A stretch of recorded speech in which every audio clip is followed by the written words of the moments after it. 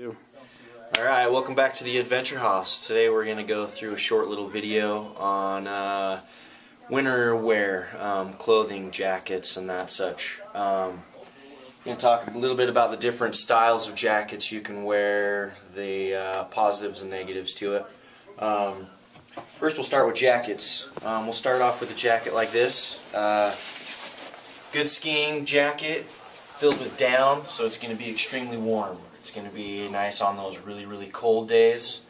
Um, it's going to keep you warm. No need to wear a whole lot underneath the jacket. Um, still really waterproof, technically sound and all that. Um, then it comes down to layering pieces after that. Um, you can wear a jacket like this, which isn't quite as thick. It's just going to have a good waterproof technical layer on the outside. Not much insulation. So it's good to wear layering pieces underneath this. Um, it's going to help it's going to help keep you warm, but then nice you can shed layers, um, work with it different ways like that um, to help keep you comfortable.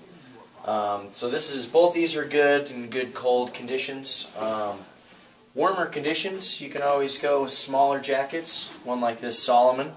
uh, more of a soft shell. It's not going to be as waterproof or windproof.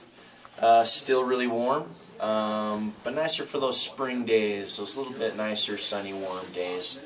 Um, and you can also wear a couple layers underneath this to help with warmth a little bit. Um, of course, it's always good to have good undergarments um, when you're wearing any type of jacket, um, like these Patagonia ones we have for sale.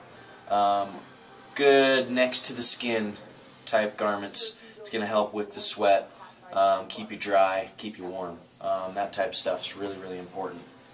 Um, and then it comes down after that to good socks also. Um, good, good pair of socks is going to help keep your boots and your feet dry, warm, comfortable. Boots are the most important thing. Going to help keep the keep you happy. If you're uncomfortable, you're not going to be having a good day. So, good pair of socks, always recommended. Um, and that's about it for our technical video for the day. Um, hope to see you soon at the Adventure Haus.